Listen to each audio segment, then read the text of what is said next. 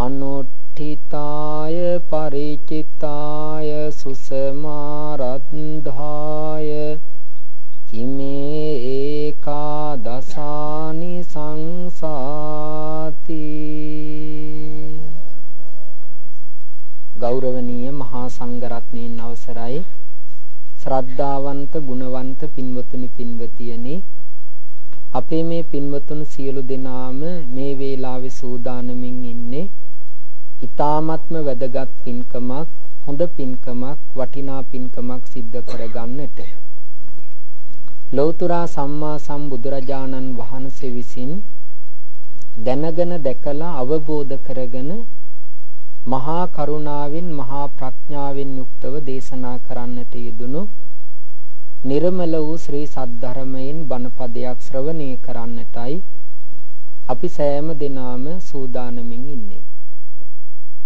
අද දවස තුල මේ ධර්ම දේශනාවට දායකත්වය බාරගත්තේ වරකාපොළ ගොඩවෙල පදිංචි ඉන්ද්‍රාණි විජේසුන්දර මෑණියන් ඇතුළු දුවදරුවන් පිරිස විසින් අරමුණු බලාපොරොත්තු රාශියක් හිතේ තියාගෙන විශාල පිරිසක් සමග මේ ස්ථානයට පැමිණිලා ධර්ම දේශනාව ශ්‍රවණය කරලා මේ ධර්ම දේශනාව මුළු ලෝකයටම ශ්‍රවණය කරන්නට අවස්ථාවක් සකස් කරන්නට බලාපොරොත්තු වෙනවා.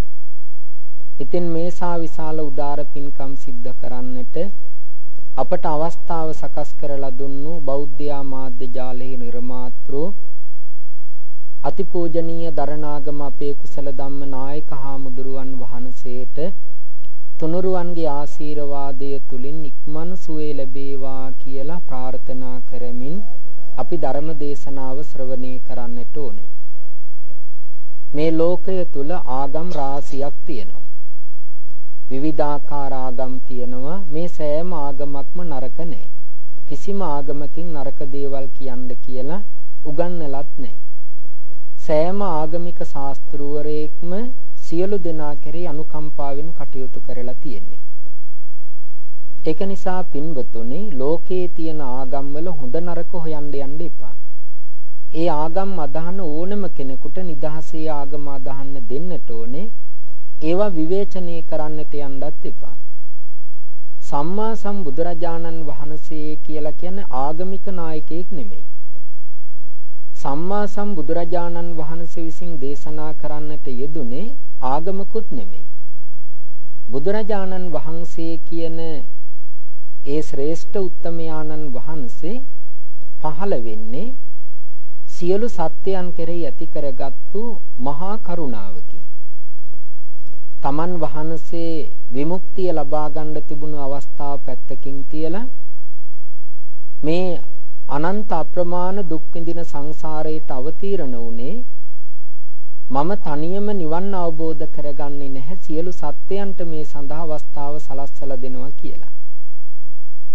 එහෙම ඇති කරගත්තු ගමන් මගක උත්සාහය තුලින් වීරිය තුලින් ශ්‍රද්ධාව තුලින් ලබාගත්තු අවබෝධයක් තමයි ඥානයක් තමයි සම්මා සම්බුද්ධත්වයේ කියලා කියන්නේ. ඒ සම්මා සම්බුද්ධත්වයේ ඇති කරගත්තු බුදුරජාණන් වහන්සේ දේශනා කරපු ධර්මය වෙන කිසිම ආගමක දහමක නැහැ. දර්ශනයකත් නැහැ, චින්තනයකත් නැහැ. මේ ධහම තියෙන්නේ බුදුරජාණන් වහන්සේ කෙනෙකුගේ ළඟම විතරයි. මේ ධර්මයේ තුලින් බුදුහාමුදුරුව පැහැදිලි කරලා දුන්නේ ස්ත්‍රී පුරුෂ ભેදයකින් තොරව දුප්පත් පොහොසත් ભેදයකින් තොරව සත්‍යයට භව දුක නැති කරලා නිවන් අවබෝධ කරගන්න ආකාරය. උන්වහන්සේ දේශනා කළේ කරුණු තුනයි. එක සීලය. සිල්වත්කම ඇති කරගන්නටයි කිව්වා.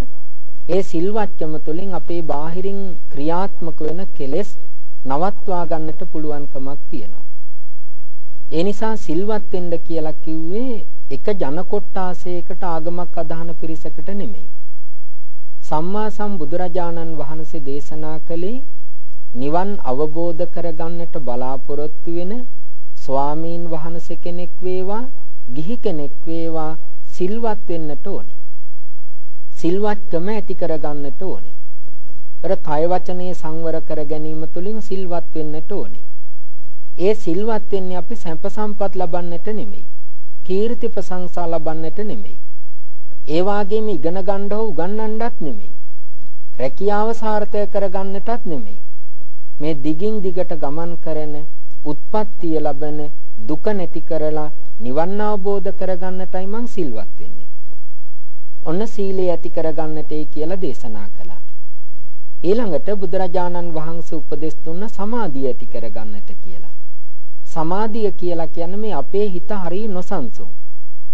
මා මේ ධර්ම දේශනා කරන වෙලාවෙත් මගේ හිතට අප්‍රමාණ අරමුණු වෙනවා. ඒ සෑම අරමුණක්ම හිතලා එළියට දානවා. සමහර ඒවා පළපදියම් වෙන්න හදනවා. මං ඒවට ක්‍රියාත්මක වෙන්න දෙන්නේ නැහැ මේ ධර්ම දේශනාවට බාධා වෙන නිසා. නමුත් එයාලා ඇවිල්ලා මගේ හිත ඇතුළ අරක් ගන්නවා. ඇස තුලින් ලබාගත්තු කන තුලින් ලබාගත්තු නාසය තුලින් ලබාගත්තු දිව තුලින් ලබාගත්තු ශරීරය තුලින් ලබාගත්තු පෝෂණය තුලින් තමයි මේ මනසට විවිධාකාර අරමුණු වෙන්නේ. තේන අරමුණු මනාව සංවර කරන එක තමයි සමතේහවත් සමාධිය කියලා කියන්නේ. එතකොට බුදුරජාණන් වහන්සේ දේශනා කළා ಜಾති ભેදයකින් තොරව ආගම් ભેදයකින් තොරව යමෙක් විමුක්තිය බලාපොරොත්තු වෙනවා නම් එයා චිත්ත සමාධිය ඇති කරගන්නට ඕනේ කියලා. සිතේ උපදින ක්ලේශ ධර්මයන් හඳුනගෙන ඒවා සංවර කරලා පාලනය කරගන්න ශක්තිය හදාගන්නවා. ඊළඟට තුන්වෙනි කාරණා විදියට දේශනා කළේ ප්‍රඥාව ඇති කරගන්නට කියලා. ප්‍රඥාව කියලා කියන්නේ පවතින දේවල් තුල ඇත්ත ස්වභාවය දකින්න එක. දැන් ওই පින්නතුන් දකිනවා මම. ওই පින්නතුන් කියනවා මේ රදාවඩුන්නේ ඥානීමල හාමුදුරුවෝ. ඒ ওই පින්නතුන් දකින දේනේ. නමුත් ඒ මගේ ඇත්ත නෙමෙයි. මම කියන කෙනා ඇත්තම විදිහට ගත්තොත් මගේ ළඟ තියෙන්නේ රූපයක් තියෙනවා. කර්මයේ තුලින් හැදුණු, ආහාර තුලින් හැදුණු, ඍතු තුලින් හැදුණු, සිත තුලින් හැදුණු රූපයක් තියෙනවා. කර්මජ රූප, චිත්තජ රූප, ආහාරජ රූප, ඍතුජ රූප කියලා. එතකොට ඔය පින්නතුන් ඥානිමල හාමුදුරුවෝ කියලා දැක්ක මේ රූපය සකස් වෙලා තියෙන ඔය හතර දිනාගේ. එතකොට එක රූපයක තියෙනවා 8 9 10 11 12 13 බැගින් ගුලි එකතු වෙලා හැදුණු රූප කලාප හයක් තියෙනවා. ඒව තමයි මේ එකතු වෙලා ශරීරය හැදිලා තියෙන්නේ. ඒ සෑම රූපයක්ම චිත්තක්ෂණ 17ක කාලයක් පවතිනවා. ඒ කියලා කියන්නේ ක්ෂණ 51ක කාලයක් අපි මෙහිම ඇඟිල්ලෙන් අසුරු සනක් ගහනකොට ආශ්චර්ය ප්‍රකාශ කරන්න අසුරු සනක් ගහන්නේ ඒ කාලය තුල මේ රූප විනාශ වෙනවා. එතකොට ඔය පින්නතුන් දකින මම කියන කෙනාගේ ආකෘතිය සෑම මොහොතකම වෙනස් වෙනවා. ඊළඟට ඊට යටින් තියනවා වේදනා. වේදනා කියන්නේ සිතුවිල්ල. සතුටක් එනකොට සුඛ වේදනා, දුකක් එනකොට දුක්ඛ වේදනා. දෙකම නැති වෙලාවට උපේක්ඛා වේදනා. ඔය තුනෙන් එකක් අනිවාර්යෙන් මගේ ළඟ තියෙනවා. ඒවත් ඉපදෙනවා, පවතිනවා, නැති වෙනවා. ගොඩාක් වෙලා රැඳිලා තියෙන්නේ නැහැ. එතකොට ඔන්න ඒකත් වෙනස් වෙනවා. ඊළඟට තියෙනවා සංඥා. සංඥා කියන්නේ හඳුන ගන්නවා. ඒ හඳුනා ගැනීම සිතුවිල්ලකින් කරන්නේ. ඒකත් උපදිනවා, පවතිනවා, මැරෙනවා. එතකොට ඒකත් අනිත්‍යයි, දුකයි, අනාත්මයි. ඊළඟට තියෙනවා සංකාර. ඊළඟට තියෙනවා විඥාන. ඔන්න ඔය කියන පස් දෙනාගේ එකතුවකට තමයි රදාවඩුනේ ඥානිමල හාඳුරෝ කියන නම දීලා තියෙන්නේ.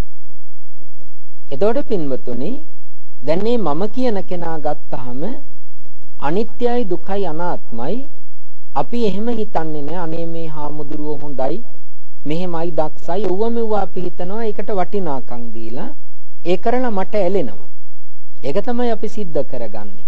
බුදුරජාණන් වහන්සේ දේශනා කරනවා එහෙම බලන් එපා. ප්‍රඥාවෙන් දකින්න. හැබැයි එකපාරට ප්‍රඥාවෙන් දකින්න බෑ. ඒකට සීලය උදව් වෙනවා. සීලය උදව් වෙනවා. හොඳට සිල් රකින්නට ඕනේ. ඊළඟට සමාධිය. සීලය රකින්නකොට සමාධියට ඒක උදව් වෙනවා. සමාධිය ඇති කරගන්න නම් සීලය අත්‍යවශ්‍යයි. සීලය උපකාරක ධර්මයක්. හොඳට සිල්වත් වෙනකොට ඒතනත්තගේ කටින් කරන වැරදි කෙරෙන්නේ නැහැ. කයින් කරන වැරදි කරන්නේ නැහැ. හරි පිරිසිදු කෙනෙක්. එයා ඕන තැනක කියනවා මං කුරා කුඹියෙක්වත් මරන්නේ. එයා ඕන තැනක කියනවා මං කාගේවත් දෙයක් හොරකම් කරන්නේ නැහැ. එතකොට එහෙම වෙනකොට පුදුම ආත්ම තෘප්තියක් ඇති වෙනවා. Taman පිළිබඳව ආඩම්බරයක් ඇති වෙනවා. මගේ ජීවිතේ හරි නිර්දෝෂී කියලා සතුටක් ඇති වෙනවා. ඒක ඕනම જાතියක ආගමක කෙනෙකුට භුක්ති විඳින්නට පුළුවන්. එතකොට එහෙම ඇති කරගත්තු කෙනා තව අභ්‍යන්තරයේ බලනවා. ඒ අභ්‍යන්තරයේ බලාගෙන තමාගේ සිතේ හටගන්නා ආවේගශීලී ස්වභාවයන් පාලනය කරන්නට එයා දැඩිව උත්සාහ කරනවා. එතකොට සිල්වත්කම කියන එක සමාධියට උපකාරක ධර්මයක්. සමාධිය කියන එක ප්‍රඥාවට උපකාරක ධර්මයක්. ඇත්ත ඇති සැටියෙන් දකින්නට පුළුවන් විදර්ශනා නුවණ ඇති වෙන්නේ සමත භාවනාව උදව්වක් කරගත්තොත්. සමතේ ඇති කරගන්නට පුළුවන් සිල්වත්කම ඇති කරගත්තොත් සිල්වත්කමෙන් තොර සමාධියක් නැහැ සමාධියෙන් තොර ප්‍රඥාවක් නැහැ ඒක නිසා මෙවුවා පිළිවෙලට යන්නට ඕනේ.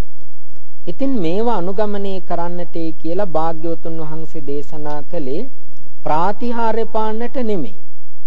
ඒ වාගේම Tamange මුදල් බලතල වැඩි කරගන්නට නෙමෙයි. මේවා කෙරෙහි තියෙන මේ ඇලීම ආසාව දුරු කරලා නිවන් අවබෝධ කර ගැනීම සඳහා තමයි මේ මාර්ගය දේශනා කළේ.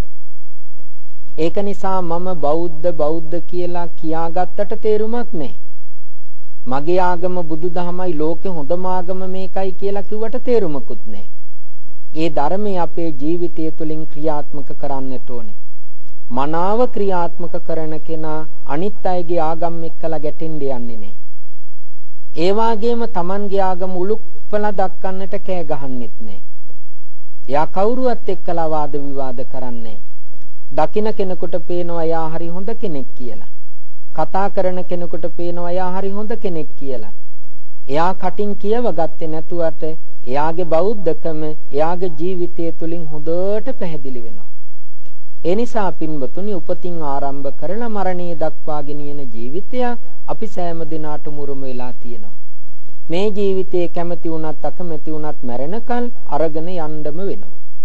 ඔබේ කැමැත්ත අනුව නෙමෙයි ඔය සියල්ලක් තීරණය වෙන්නේ උපතයි මරණයයි දෙක. කර්මය තමයි ඒක තීරණය කරගත්තේ. සිත් පහළ වෙන්නේ කර්මානුරූපව. එතකොට මේ සිත පාලනය කරගෙන සකස් කරගෙන හොඳ මාර්ගයක ජීවිතේ ගෙනියන්නට උණු උත්සාහය තුලින් උනන්දුව තුලින් අන්න එහෙම ජීවත් වීම සඳහා අවශ්‍ය කරන කරුණු ටිකක් අද ධර්ම දේශනාව තුලින් මම අපේ පින්වතුන්ට පැහැදිලි කරලා දෙන්නට බලාපොරොත්තු වෙනවා. ඒ නිසා සෑම දිනම හොඳ අවධානයක් ඇති කරගෙන ඊටාම හොඳින් ධර්ම දේශනාව ශ්‍රවණය කරන්නට ඕනේ. බණ අහන්න ඔය පින්නතුන් වාඩි වෙලා ඉන්නේ වාඩි වෙලා ඉන්න අතරතුරේ කකුල රිදුනොත් හිරි වැටෙන ගතියක් ආවොත් කැක්කුම ගතියක් ආවොත් කකුලේ නවාගෙන ඉන්න ඉරියව්ව ටිකක් වෙනස් කරලා පහසු විදියකට තියාගන්න. අමාරුවෙන් පිළිම තිබ්බා වාගේ ඉඳගෙන ඉන්න එපා ඒක හරි අපහසුයි. ධර්ම දේශනාව ශ්‍රවණය කරන අතරතුරේ කැස්සක් කිවිසුමක් යන්දාවොත් හිර කරගෙන ඉන්න නැතුව බය නැතුව පිට කරන්න. අසෝබන නොවන ආකාරයට. ධර්ම දේශනාව ශ්‍රවණය කරන අතරතුරේ බැරි වෙලා හර නිදිමතක් ආවොත් බණ ඉවර වෙනකල් නිදාගන්න කැමරාවට පේන්නේ නැතුව. යනකොට මං ඇහැරවන්න. ඒ කරුණු ටික මතක් කළේ කාරුණිකව අපි සෑම දිනම ධර්ම දේශනාවට අවධානය යොමු කරමු. අද මම තෝරගත්තේ මෙත්තානිසංස සූත්‍ර දේශනාව. මෙත්තා කියලා කියන්නේ මෛත්‍රී භාවනාවට නම. ආනිසංස කියලා කියන්නේ එය හොඳින් කළාම ලැබෙන කුසල විපාක වලට ආනිසංස කියලා කියනවා. මේ ලෝකේ කරන සෑම දෙයකටම විපාක දෙකක් ලැබෙනවා. එකක් ආනිසංස අනික ආදීනව.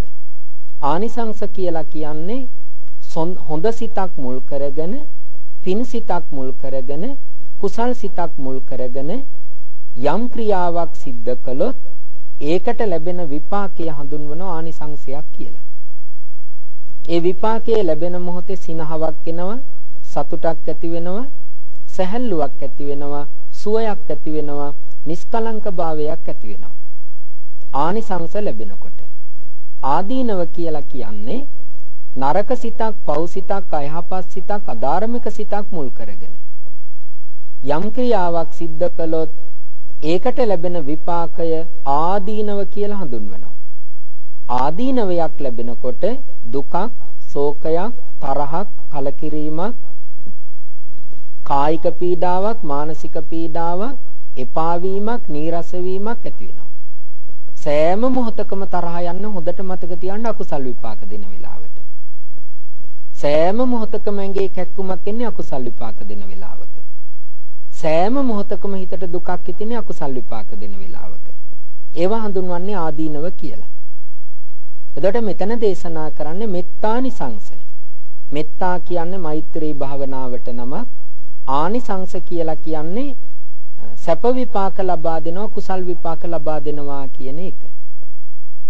මේ සූත්‍ර දේශනා බුදුරජාණන් වහන්සේ දේශනා කරන්නේ සවැත් නුවර ජේතවනාරාමේ වැඩ වාසය කරන දවසක. ස්වාමීන් වහන්සේලා අරමුණු කරගත්තට සිව්වනක් පිරිසම බුදුරජාණන් වහන්සේගේ ළඟ ධර්මයේ ශ්‍රවණය කරන්නට සූදානමින් හිටියේ. ඉතින් බුදුරජාණන් වහන්සේ භික්ඛවේ කියලා ආමන්ත්‍රණය කළා භික්ෂුන් වහන්සේලාට. මෙත්තාය භික්ඛවේ චේතෝ විමුක්තිය. චේතෝ විමුක්ති කියලා කියන්නේ පංච නීවරණයන්ගෙන් සිත මිදෙනවට. චේතෝ විමුක්ති කියලා කියනවා. විදර්ශනාව තුළින් ප්‍රඥාව පහළ වෙනවට පඤ්ඤා විමුක්ත කියලා දේශනා කරනවා. එතකොට චේතෝ විමුක්ත කියලා කියන්නේ පින්නතුනි පංච නීවරණ ධර්මයන්ගෙන් සිත මිදෙන එකමයි. පංච නීවරණයන්ගෙන් සිත ඉවත් වෙන එකට කියනවා චේතෝ විමුක්ත කියලා. මෙත්තාය භික්කවේ චේතෝ විමුක්තිය. ආසේවිතාය ක්‍රියාපදයක් භාවිතාය බහුලී කතාය යානී කතාය වත්තු කතාය අනුට්ඨිතාය ಪರಿචිතාය සුසමාරද්දාය ඔය වචන 8කින් භාග්‍යවතුන් වහන්සේ මෛත්‍රී භාවනාව කරන හැටි දේශනා කළා. භාවිතාය භාවිතා කරනවා. දැන් මම මේ ධර්ම දේශනාවට වැඩම කළා. මම දැන් කතා කරනවා කතා කරන්න පාවිච්චි කරන්නේ සිංහල භාෂාවේ වචන. සිංහල භාෂාවේ අකුරු. සිංහල භාෂාවේ ව්‍යාකරණ. එහෙමනම් මං ධර්ම දේශනා කරන වෙලාවේ භාවිතා කරන්නේ සිංහල භාෂාව. එතකොට අපි යමක් පාවිච්චි කරනවා නම් ප්‍රයෝජනෙට ගන්නවා නම් ඒක හඳුන්වනවා භාවිතා කිරීමක් කියලා. මෛත්‍රී භාවනාව භාවිතා කරන්න කියලා දේශනා කළා. බහුලී කතාය. බහුලී කතාය කියන්නේ බහුල වශයෙන් කරනවට. බහුල වශයෙන් කරනවා කියන්නේ නිතර නිතර කරනවා. සෑම මොහොතකම කරනවා. අත්හරින්නේ නැතුව කරනවට බහුලී කතාය කියලා කියනවා. ඊළඟට ආසේවිතාය භාවිතාය බහුලී කතාය ආසේවිතාය කියන්නේ ඒත් සේවනය කරනවා. ළඟ තියාගෙන ඉන්නවා. සමීපේ තියාගෙන ඉන්නවට ආසේවිතාය කියලා කියනවා. බහුලී කතා. ඊළඟට යානී කතාය. යානී කියලා කියන්නේ යානාවක් විදිහට කරනවා. දැන් මං පාරේ ගමන් කරනකොට පාවහන් දෙකක් පාවිච්චි කරනවා.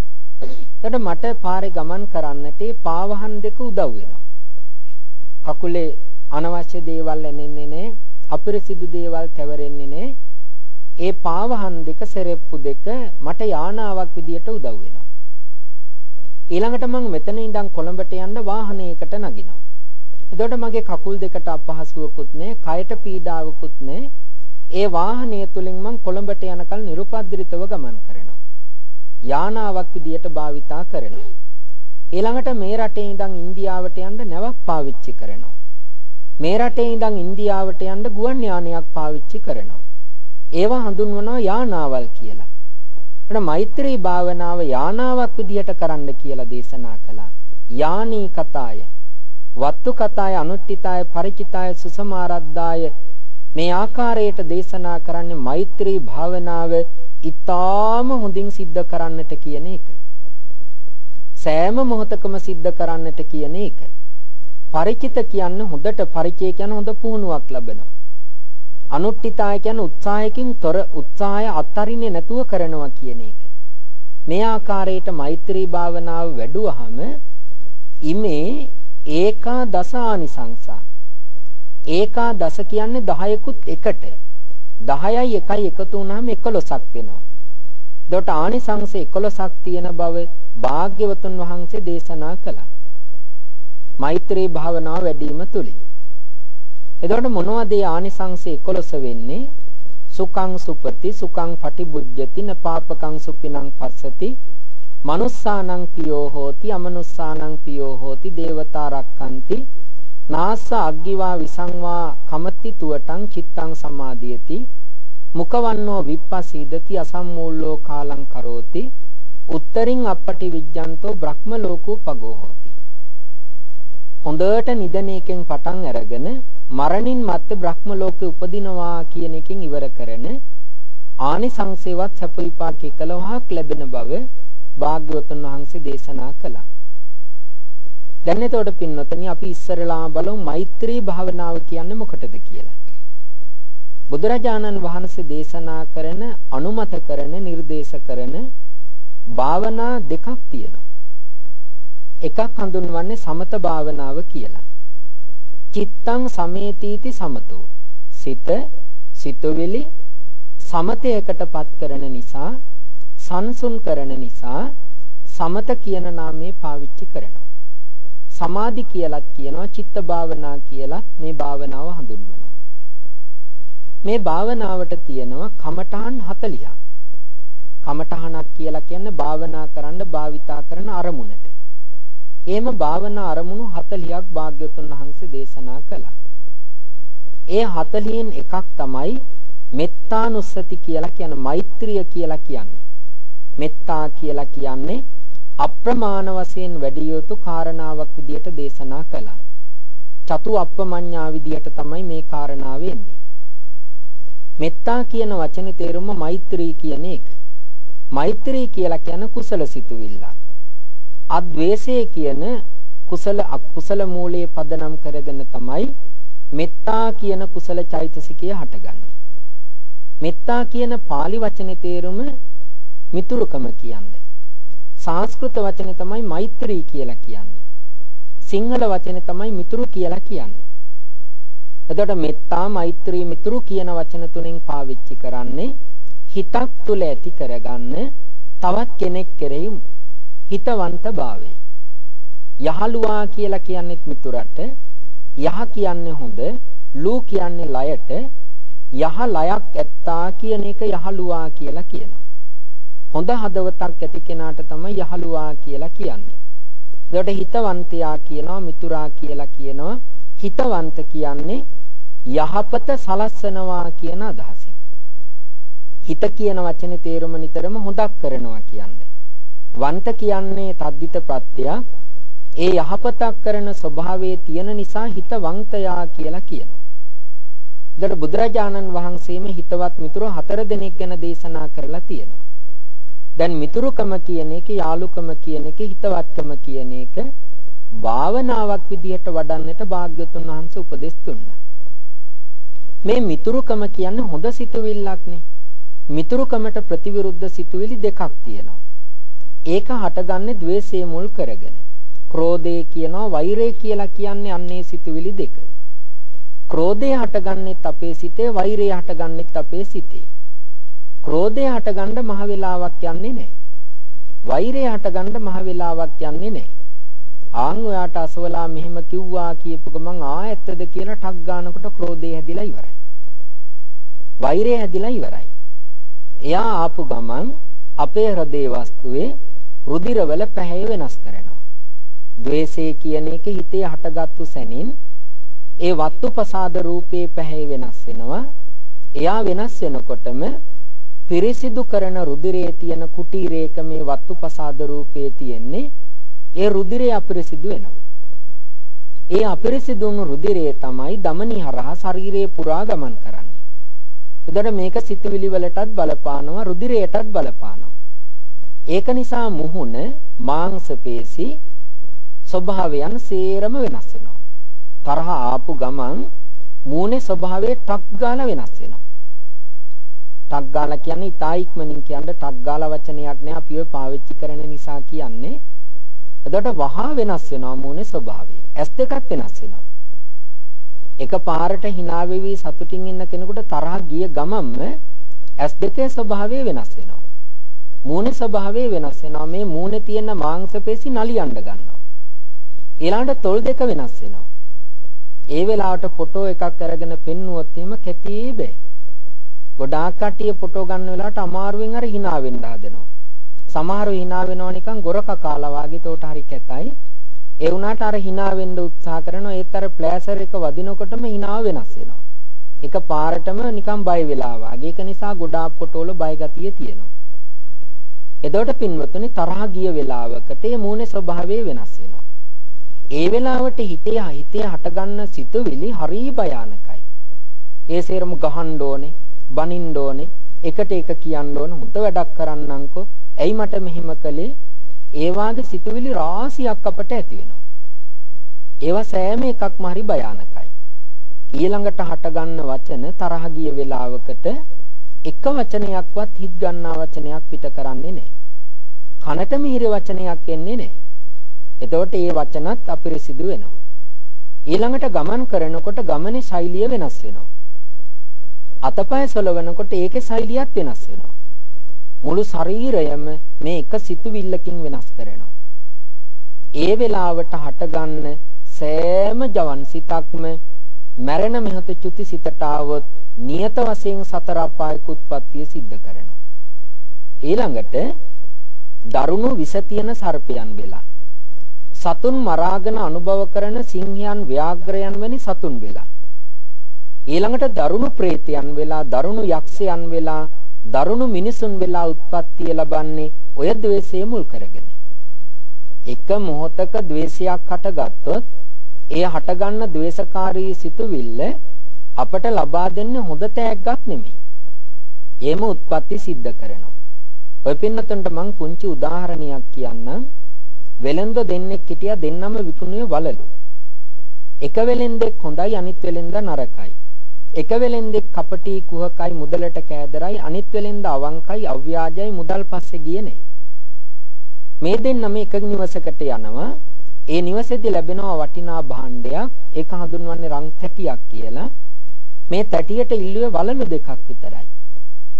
කපටි වෙලෙන්දා මේ තැටිය කපටිකමෙන් ගන්න ඒක වටිනාකමක් නැති බව පෙන්වලා පැත්තකින් තිබ්බා. අව්‍යාජ වෙලෙන්දා මේක ගොඩාක් වටින බව ප්‍රකාශ කරලා මේකට දෙන්න දෙයක් මගේ ළඟ නැහැ කියලා සේරම වලලුයි සල්ලි තියලා ගියා. දොඩර කපටි වෙලෙන්දා මේ තැටිය කෙරෙහි තිබුණු කෑදරකම නිසා ගංගා ඉවුරට අවුදිල්ලා අර අව්‍යාජ වෙලෙන්දට වෛර බැඳගත්තා. ඒ බැඳගත්තු වෛරය තමයි ආත්ම ගානක් තිස්සේ අවුදිල්ලා සම්මා සම්බුද්ධත්වයට පත් වෙන ආත්මෙදී Tamanගෙම පවුලේ ඥාති සහෝදරයෙක් වෙලා උත්පත්තිය ලබන්නේ. දේවදත්ත ඒ Tamanගේ පවුලේ සහෝදරයෙක් වෙලා උත්පත්තිය ලැබුවෙම අර අකුසලයක් එක්කලා ආපු නිසා. ඔය එක්තරා ප්‍රවෘත්ති පත්‍රයක මා දුටුවා කතාව. ඒකේ අම්මයි දුවයි හරිය තරහයි. දුවගේ වයස අවුරුදු 20 පැනලා තරුණයි. ඒ දුව හරි ලස්සනයි. අම්මයි දුවයි විතරයි ගෙදර හිටියේ. ඒ දුව අම්මා එක්කලා ගොඩාක් ගැටෙනවා. අම්මා කියන කිසිම දෙයක් අහන්නේ නැහැ. අම්මා එක්කලා ගැටෙන අම්මා එක්කලා තරහවෙන් හිටිය මේ දුව එක්තරා ස්ථානයකට ගෙනහිල්ලා එයා මෝහණය කරනවා. මෝහණය කළාට පස්සේ මේ මෝහණය කරන්නේ ආචාර්ය ග්‍රැන්විල් ධර්මවර්ධන මැතිතුමා. එතුමා මේ වෙනකොට ඕස්ට්‍රේලියාවේ මෙල්බන් වල පදිංචි වෙලා ඉන්නේ. මටත් දවසක් එහි ගියාට පස්සේ මුණ ගැහුණා විත් කතා කළා. කතා කළාම තමයි දන්නේ ග්‍රැන්විල් ධර්මවර්ධන මහත්තයා කියලා. එයාගේ ළඟ ගොඩාක් තොරතුරු තියෙනවා. එතුමාගේ ළඟට එක්කලා ආපු මේ ගෑනු ළමයා දිෂ්ටි කරනවා, මෝහණය කරනවා. මෝහණය කරගෙන ආත්ම කීපයක් එහාට එක්කලා යනවා. ඒකලා ගියාට පස්සේ මේ ළමයා ප්‍රකාශ කරනවා මගේ සැමියා මාව සැක කරලා මට වද දෙනවා මට චෝදනා කරනවා එක එක මිනිස්සු පාවා දීලා මාව සිගරට් කොටෙන් පුච්චනවා කොණ්ඩෙන් ඇදගෙන යනවා කියලා. ඒ කරලා එයා ඇඟ පෙන්නනවා මේ බලන්න මං පුච්චලා තියෙන්නේ මට හරි රිදෙනවා. එතකොට අර මෝහණය කරන වෛද්‍යවරයා අහනවා ඔබට සැමියා ගැන මොකද හිතෙන්නේ කියලා. එතකොට මෙයා කියනවා මට හරි වෛරයක් හිතෙනවා සැමියා ගැන. ඊට පස්සේ අහනවා ඇත්තටම ඔබ අනාචාරය හැසිරෙනවද? නෑ කියනවා. එහෙම කළේ නෑ. මං මගේ සැමියා ගැන විතරයි හිතුවේ නමුත් මේ මිනිස්සයා මාව හරියට සැක කරනවා කියලා. ඉතින් ඔබට මොකද හිතෙන්නේ සැමියා ගැන කියනවා. මට පලිගන්න හිතෙනවා කියනවා. ඒ වුණාට මම බයයි කියනවා. ඊට පස්සේ එයා මැරෙනවා කියනවා. මැරෙන වෙලාවෙත් සැමියා ගැන වෛරෙන් මැරෙන්නේ කියනවා. ඊට පස්සේ ඔබට සැමියා හම්බ වුණාද කියලා අහනවා. ඔව් කියනවා. කෝදැන් ඔබේ සැමියා කියනවා. මේ අම්මා කියනවා. මේ ජීවිතේ අම්මා වෙලා ඉන්නේ Tamanගේ සැමියලු. එයාගේ කුසේ දුවෙක් වෙලා ඉපදුනේ බිරිඳලු. දැන් අම්මා රිද්දනවා. අම්මා හරියට පීඩා විඳිනවා. දැන් බලන්න පලිගන්න කෙනා වෙන තැනක නෙමෙයි Tamanගෙම කුස ඇතුළේ පිළිසිඳගෙන. ඒකට දේවදත්ත හාමුදුරුව උත්පත්තිය ලබන්නේ සුද්ධෝදන රජතුමාගේ සහෝදරියකගේ පුතෙක් වෙලා. යසෝදරා දේවිය කියන්නේ එයාගේ නංගි මල්ලි තමයි දේවදත්ත කියලා කියන්නේ. දැන් ඔය පින්නතුන්ට මම මේ කතා දෙකක් ගත්තේ බුදුරජාණන් වහන්සේ දේශනා කරන ධර්මයේ කොච්චර හොඳද බලන්න. සමහර වේලාවට හොඳ සමගියෙන් ඉන්න නිවෙස් වලට විවාහ වෙලා එන බිරින්දෑවරු ස්වාමිවරු නිසා පවුලේ තියෙන සමගිය නැති වෙලා යනවා. අම්මට තාත්තට හොඳට සලකගෙන ඉන්න දරුවෝ විවාහ වෙලා එන සැමියා නිසා බිරිඳ නිසා අම්මා සදහටම අතාරිනවා. තාත්තා සදහටම අතාරිනවා.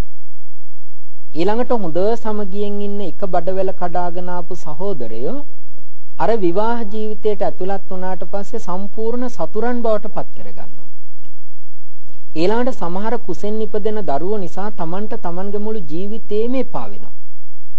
මොන කර්මයකට මේ දරුවා ලැබුණද කියලා සමහර අම්මලා තාත්තලා කියවෙනවා.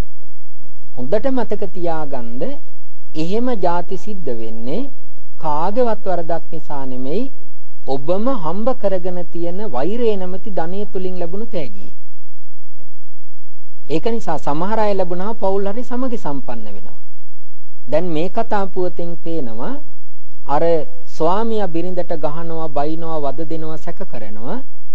එතකොට ස්වාමි දියණියගේ හිත දුර්වල වුණාට පරිගන්න එක දුර්වල නෑ. එයා එක පරිගන්න සිතින් ඉන්නවා. පරිගන්න සිතින් එයා මරණයටපත් වෙනවා. ආත්ම ගානකට පස්සේ මිනිස් ලෝ උපදිනවා. ඒ උපදිනකොට අර සැමියා වෙලා හිටියේ පිරිමි කෙනා මේ ආත්මේ කාන්තාවක්. බිරිඳ වෙලා හිටිය කෙනා ඒ කාන්තාවගේ කුසේ පිළිසිඳගත්ත දරුවෙක්. දෙන්න ඇස් දෙකට පේන්න බෑ. අම්මා නිතරම දරුවට ආදරේ කරන්න හදනකොට, දරුවා රකින්න හදනකොට, දරුවා නිතරම අම්මගේ හිත පාර වෙනවා. දැන් බලන්න ආපු කර්ම විපාක දෙන ආකාරය. ඒක නිසා මේ වෛරය කියලා අපි හදාගන්න දේ හරි භයානකයි. සමහර වේලාවට අපි කියනවා අපට තරහ ආපුහම ඒක පාලනය කරගන්න බෑ කියලා. සමහර දෙනෙක් ප්‍රකාශ කරනවා මගේ එකම දුර්වලතාවයයි තියෙන මට හරියට කේන්ති යනවා කියලා. ඔබට කේන්ති යන සෑම මොහොතකම ඔබේ සිතේ මවා ගන්න මං ආත්ම කීයක් කොටි වෙලා වලස්සු වෙලා උත්පත්තිය ලබයිද කියලා. ඒ වාගේම දරුණු විස සහිත සර්පයන් වෙලා උත්පත්තිය ලබන්නේම ක්‍රෝධය පදනම් කරගෙන. പ്രേතාත්මේක අනිත් අයට වද දෙන പ്രേතයන් වෙලා උත්පත්තිය ලබන්නේම ක්‍රෝධය පදනම් කරගෙන. යකුන් ඕන තරම් ඉන්නවා සෑම යකෙක්ම මිනිස්සුන්ට හානි කරන්නේ නැහැ. වාලේ යක්කා කියලා දරුණු යකුන් කියලා කොටසක් ඉන්නවා. ඒ දරුණු යකුන් බවට පත් වෙලා උත්පත්තිය ලබන්නේ ක්‍රෝධය පදනම් කරගෙන. එක්තරා ගෑනු කෙනෙක් පිරිමි තුන්දෙනෙක් එක්කලා සම්බන්ධතා ඇති කර ගන්නවා. ඒක ස්වාමියාට අහු වෙනවා. ස්වාමියා ඉස්සරලා ළමයා මරනවා. ඊට පස්සේ ගෑනු කෙනා මරනවා. මෝල් ගහකින් ගහලා ගෑනු කෙනා මරනවා මීට අවුරුදු 75කට විතර එහා. ගෑනු කෙනා මරන්නේ නෑ මර ගහනවා පන පිටින් වලලනවා කජු ගහක් යට. ඊට පස්සේ කාලේ ගත වෙනවා මේ මෑතක ඒ ඉඩම් වෙන්දේසි කරනවා කැලෑ වැහිලා තිබුණු ඉඩම් අර කාන්තාවගේ මිනිය වලලපු ඉඩම එක් පිරිසක් ගන්නවා. කිසිම ඥාති සම්බන්ධයක් නැහැ. ඒ අරගෙන ටික දවසක් යනකොට ඒ කාන්තාවට ලෙඩ හැදෙනවා. වෛද්‍ය පරීක්ෂණ ස්කෑන් මොකකින්වත් අහුවෙන්නේ නැහැ. නමුත් පස්සේ බලනකොට අර මරුණු ගෑනු කෙනා වෛරෙන් මැරෙනවා. එයා නරක ආත්ම භාවයක උත්පත්තිය ලබනවා. මේ ඉඩම මට නැති වෙයි. ඒක නිසා මේකෙන් පන්නන්න ඇඟට ආවා කියනවා. ඊළඟට එයාට කියනවා මොනවද ඕනේ කිව්වම කිරි හට්ටියක් දෙනවා. කිරි හට්ටිය දීලා පැණි බාගේ බෝතලයක් දුන්නාම මේ ගෑනු කෙනා කිරි හට්ටියට පැණි බාගෙම දාගෙන හොඳට අතින් කනවා. එහෙම සාමාන්‍යයෙන් කාන්තාවක් කරන්නේ නැහැ. ඉතින් ඒ වාගේ තවත් සිදුවීම් මම මේ දර්ශනීය තුලින් දැක්ක අන්තර්ජාලේ තියෙන්නේ. එතකොට ඒ වාගේ ಜಾති සිද්ධ වෙන්න පින්නතුනි වෛරය නිසා. ඒක නිසා තමන්ට තරහ යන සෑම මොහොතකම හිතන්නේ මම මිනිසෙක් විදියට මේ ගත්තු තරහ හානි කරයි. මේක දිහා මං තරහ විදියට බලන්නේ නෑ කියලා ඒ වෙනුවට මෛත්‍රී සිත ඇති කරගන්න. ඉස්සරලාම බුදුහාමුදුරුවෝ දේශනා කරන්නේ තමන්ට මෛත්‍රී කරන්න කියලා. මම නිදුක් වෙම්මා කියලා. එතකොට මම නිදුක් වෙන්නේ මගේ ළඟ රාගේ නැත්තම්. මගේ ළඟ द्वේෂය නැත්තම් මගේ ළඟ මෝහය නැත්තම් ඒ මොහොත තුල විතරයි මගේ දුක නැත්තේ. රාගය ඇති වෙලා සිතන කියන කරන සෑම ක්‍රියාවක් තුළින්ම දුක හට ගන්නවා.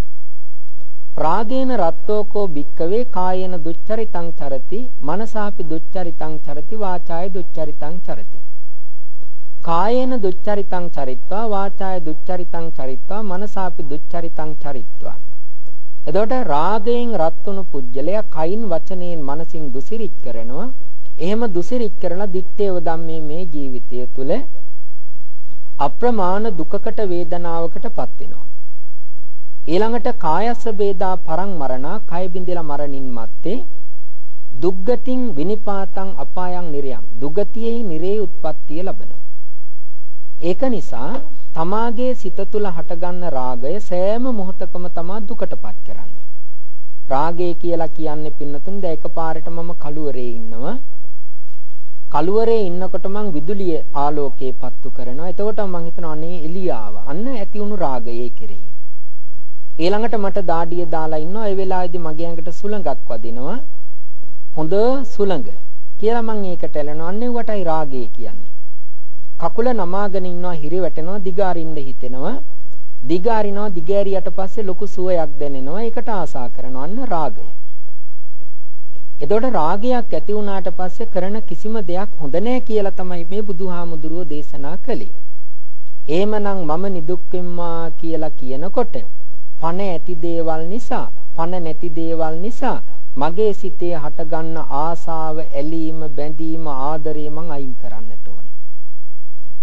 මම නිදුක් වෙම්මා කියන මොහොතේ මගේ සිත තුළ මගේ ශරීරය නිසාවත් මගේ ඉන්ද්‍රියන්ගෙන් දකින, පෙනෙන, අහන, පණ ඇති, පණ නැති ಜಾති නිසාවත් කිසිම දෙයක් ගැන ආසාවක් ඇති කරගන්න බෑ.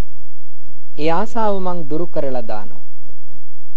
ඊළඟට මොනම ආකාරයකටවත් මම නිදුක් වෙම්මා කියන මොහොතේ කිසිම දෙයක් ගැන ඇලීමකින් ආසාවකින් තොරව සිත තියාගන්නවා. හරිම අමාරුයි. මමනි දුක්ඛම්මා කියන වචනේ කටින් කියන්න ලේසි. ඒක හිතෙන් හිතන්නත් ලේසි. ඒ වුණාට සිත ඇතුලේ හටගන්න අර සිතුවිලි අයින් කරන එක බොහොම අමාරුයි. ඒක තමයි මෛත්‍රී භාවනාව කියලා කියන්නේ. ඊළඟට මගේ සිතේ द्वේෂයක් හටගන්නකොටම පණ ඇති දෙයක් නිසා පණ නැති දෙයක් නිසා द्वේෂය හටගත්තොත් භයානක. මම නිදුක් වෙම්මා කියලා කියනකොට මගේ හිත ඇතුලේ තරහක්, වෛරයක්, ක්‍රෝධයක්, දුක හිතෙන දෙයක්, බය හිතෙන දෙයක්, කලකිරෙන දෙයක් තියාගන්න බෑ. කිසිම දෙයක් කෙරෙහි අප්‍රසන්න හැඟීමක් ඇති වෙන්න බෑ. එහෙම ඇති වුණු ගමන් අයින් කරලා දානවා. ඇයි ඒ? ද්වේෂයෙන් රත්තුණු සිත පදනම් කරගෙන හොඳක් වෙන්නේ නැති නිසා. එතකොට පින්වතුනි රාගය ඇති වුණු ගමන් සිතේ අයින් කරනවා. ද්වේෂය ඇති වුණු ගමන් හිතේ අයින් කරනවා. මෝහය ඇති වුණු ගමන් හිතේ අයින් කරනවා. එතකොට මං නිදුක් වෙලා. නිරෝගී වෙම්මා කියනකොටත් රාග දෝෂ මෝහ හිතෙන් බලලා අයින් කරන්නට ඕනේ. මම සුවපත් වෙම්මා කියනකොටත් රාග දෝෂ මෝහ හිතෙන් අයින් කරන්නට ඕනේ. මට දැන් තරහක් ඇති වුණොත්, ද්වේෂයක් ඇති වුණොත්, ඒ ඇති වුණු ද්වේෂය නිසා මට මේ ජීවිතේ ඉදිරියේදී හරි ඊළඟ භවයන් වලදී හරි හොඳ විපාකයක් ලැබෙන්නේ මං දුකටපත් වෙනවා. ඒක නිසා බල්ලෙක් අතන බුරනවා. ඒ හඬ මට ඇහෙනවා. මං මෛත්‍රී භාවනාව කරමින් ඉන්නේ. එකපාරටම බල්ලා ගැන ද්වේෂයක් උපදින්නවා මං ටක් ගාලා අයින් කරනවා. ඇයි අයින් කරන්නේ? ඒක මේ ජීවිතේ දුකට හේතු වෙනවා. පරලොවත් දුකට හේතු වෙනවා. ඒක නිසා මෛත්‍රී භාවනාව කරනවා කියන්නේ තොල්මතුරණ එක නෙමෙයි. හිතින් කියවන එක නෙමෙයි. හිත දෙස බලාගෙන මේ ජීවිතයේ දුකටපත් කරන සංසාරගත ජීවිතයේ දුකටපත් කරන රාග, දෝෂ, මෝහ අයින් කරගෙන ඉන්න එකට. එතකොට හිත ගොඩාක් නිස්කලංක වෙනවා. ඊළඟට මම මේ වඩන මෛත්‍රිය සියලු සත්‍යයන්ට ලැබේවා. සුඛිනෝවා කේමිනෝ හොන්තු. එයාලා සැප ඇත්තෝ වෙත්වා බය නැත්තෝ වෙත්වා. ඒ ආකාරයට අපි සියලු සත්‍යයන්ට මෛත්‍රී කරනවා. එතකොට Tamange සිත ඇතුළට තරහ එන කිසිම පුජ්‍යලියෙක් නැහැ. තරහ එන කිසිම වස්තුවක් නැහැ. සෝබා දහමට, කාලගුණයට, දේශගුණයට, ආර්ථිකයට, දේශපාලනයට, අවට සමාජයට, තිරිසං සත්තුන්ට කිසිම කෙනෙකුට ඔබ තරහක් හිතන්නේ නැහැ. ඔබ හිතින් හිතනවා මේ විශ්වය තුළ මේ මොහොත තුළ ජීවත් වෙන සෑම සත්වයක්ම බය නැතුව සතුටින් වාසය කරත්වා. Tamanට පේන්නේ සිනහාවක් සැහැල්ලුවක් මූණේ තියෙන සත්තු. අන්න දැන් Tamanගේ හිතේ රාග දෝෂ මෝහ දුරු වෙලා අනිත් සත්‍යයන් කෙරෙහි කාරුණිකත්වයේ ඇති කරගෙන ඒක නිතර නිතර සිද්ධ කරනකොට අපේ සිතේ තියෙන කාම රාගයේ තොර වෙලා යනවා. ව්‍යාපාදයේ තොර වෙලා යනවා. ඊළඟට තීන මිද්දේ තොර වෙලා යනවා. උද්දච්ච කුක්කුච්ච තොර වෙලා යනවා. විචිකිච්ඡාව තොර වෙලා යනවා. සිත බොහොම ප්‍රසන්න ස්ථානයක් බවට පත් වෙනවා. එහෙමපත් වෙන සිතට ලැබෙන ආනිසංස තමයි සුඛං සුපති හොඳට නිින්ද යනවා. සුඛං පටිබුද්ධති හොඳට නැගිටින්න පුළුවන්. න පාපකානං සුපිනං පස්සතිය බය වෙන හිණ පේන්නේ නැහැ. සමහර කට්ටිය නිදා ගන්න ගත්තාම හරි අපහසුයි නිින්ද යන්නේ නැහැ. සමහර අය නිදාගත්තට පස්සේ කොට්ටය හරීම දුගඳයි. ඒ වගේම ඇතිරිල්ල ගොඩාක් අපිලිවෙලකට තියෙන්නේ. සමහර ඉන්නවා කකුල් දෙක පල්ලෙහා තියලා කොට්ටේ ඔළුව තියලා නිදාගන්නේ. උදේ නැගිටගෙන බලනකොට කොට්ටේ දිහා කකුල් දෙක ඔළුව පල්ලෙහා. සමහරු පොරෝගෙන ඉන්න බෙඩ් සීට් එක කිහිල්ලේ ගහගෙන. උදේ නැගිටිනකොට කොහොමද කියලා ඒ සුවදායක නිින්දක් නෙමෙයි. සුවදායක නිින්ද නිදාගත්තා වාගේ පිපිදෙනවා. මුකෙන් දුගඳක්වත් වහනේ වෙන්නේ නැහැ. කොට්ටය තුල අපිරිසිදු පැල්ලම් හිටින්නේ නැහැ. ඇතිරිල්ල තිබුණා වාගේ තියෙනවා. එයාගේ සිත තැන්පත් තැන්පත් සිතකින් නිදාගන්නේ. ඒක නිසා මෛත්‍රී සිත ඔබට කවදාකවත් හානියක් කරන්නේ නැහැ. සෑම කෙනෙකුටම මෛත්‍රී සිත උපකාරයක් කරනවා. ඉතින් ඒ නිසා මේ ආනිසංස ටික විස්තර කරන්නට කාලේ නැහැ. ඔය පින්වත් සෑම දිනාටම වටිනා ධර්ම දේශනාවක් මම මේ පැහැදිලි කරලා දුන්නේ. මේ දේශනාව හොඳයි හෝ නරකයි කියන එක නෙමෙයි. මින් කියවෙන කරුණ ජීවිතයට ලං කරගෙන ප්‍රායෝගිකව ජීවිතය අරගෙන යන්න මහන්සි ගන්න. අපි සෑම දිනාගෙම ජීවිතය යහපත් වේවා කියලා ප්‍රාර්ථනා කරගන්න. අද මේ ධර්ම දේශනාවට දායකත්වයේ දරන්නේ ගොඩවෙල ඉන්ද්‍රාණු විජේසුන්දර මෑණියන් සහ දුවා දරුවන් විසින් මිය පරලොව යන්නට යෙදුණු සාපින් රාජපක්ෂ තමන්ගේ ස්වාමි පුරුෂයාට ඒ වාගේම යුද හමුදා සේවයේ ක්‍රියාන්විතයේදී සිටියේදී මිය පරලොව යන්නට යෙදුණු චන්දන කුමාර චන්දන කුමාර රාජපක්ෂ රණවිරු පුතාට ඒ වාගේම මව්පිය දෙපාර්ශවයේ නමින් සහ සහභාගී වුණු සියලු දෙනාගේ නමින් මියගිය ඥාතීනට මේ පින් අනුමෝදන් කරනවා ඒ සෑම දිනා මේ පින් අනුමෝදන් වෙත්වා කියලා සාදුනාදයෙන් පින් අනුමෝදන් කරන්න. මහා සංඝරත්නයේට දේශකයාණන් වහන්සේට ඒ වාගේම නාලිකාවේ සේවය කරන සියලු දෙනාට සහභාගී වෙලා ධර්මයේ ශ්‍රවණය කළ සියලු දෙනාට ක්‍රියාන්විතයේදී රෝගාතුර තත්වයට පත්ව නිවසේ සිටින චමින්ද සනත් කුමාර රාජපක්ෂ පුතාට ඒ වාගේම දුවා දරුවන් මුණුපුරු මිනිපිරියන්ට ආශිර්වාද කරනවා. රැකියා කටයුතු දියුණු වෙන්න අධ්‍යාපන කටයුතු දියුණු වෙන්න කියලා ප්‍රාර්ථනා කරනවා. ලංකාවාසී ලෝකවාසී සෑම දෙනාටමත් ආශිර්වාද කරනවා. දෙවියන්ටත් පින් අනුමෝදන් කරනවා අප සිදු කරගත් උතුම් පින නිවන සැප පිණසම හේතු වේවා කියලා ප්‍රාර්ථනා කරගන්න. දෙවියන්ට අපි පින් අනුමෝදන් කරමු.